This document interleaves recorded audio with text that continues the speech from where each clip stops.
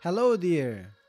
If your Microsoft Word on Mac is all messed up and then you want to reset to default settings, I will show you exactly how to do it in less than 3 minutes. First thing first, if the Microsoft Word application is open, you need to quit the application. Not close it, quit it. To quit, just right click on the application and you will have option to quit the application. You can also quit applications from the Apple menu. Just click on the Apple icon on the very top. It will show a list of applications that are running. Select Microsoft Word and click Force Quit. Cool, Microsoft Word is no longer running on your machine.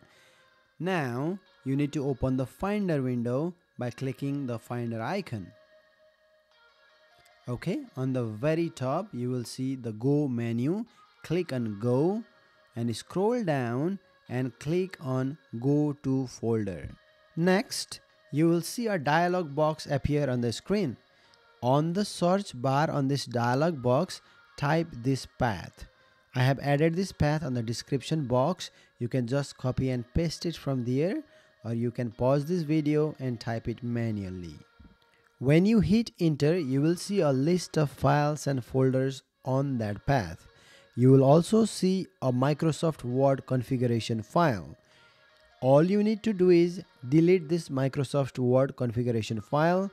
The next time you open Microsoft Word, it will recreate this configuration file with all the default settings. Now I have closed that dialog box and now I am opening Microsoft Word. As you can see, it says the default language has been changed. And that is exactly what I wanted. That is it.